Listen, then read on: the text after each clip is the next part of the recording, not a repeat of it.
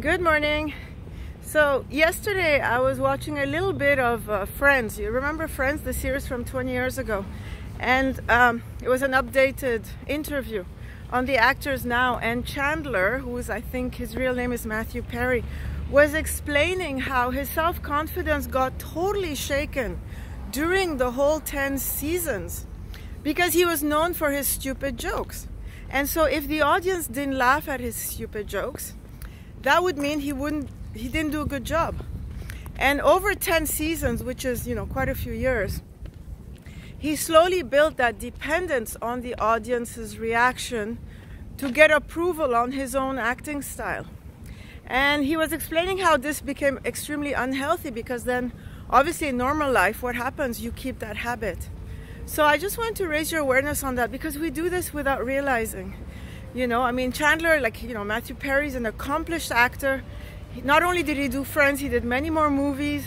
He's got a nice presence, a great actor, and yet he got caught up with this, right? So imagine how caught up we are with that every time we ask people for approval, approval of our decisions, of any dilemmas, of any doubt, because when we become dependent on it, that means we're increasing our level of self-doubt we're increasing our level of very low self-esteem and low self-confidence.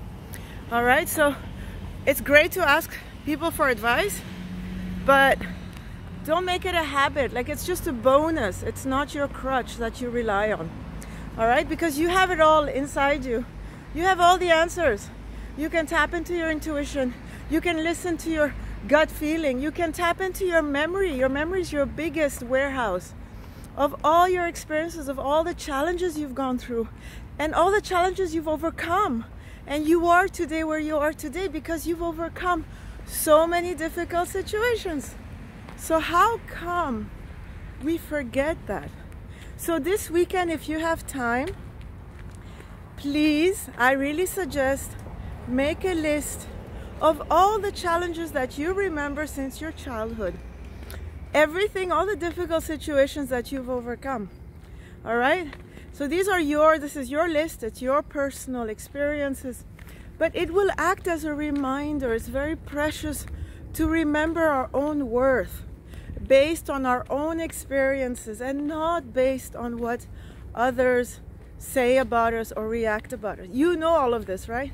But by keeping your list somewhere where you know you can refer to, it will just act as a reminder of your capabilities, your skills, all the potential that you have that we tend to forget because we get shaken up so easily. All right, the little homework for you this weekend and let me know how it goes. Ciao, ciao.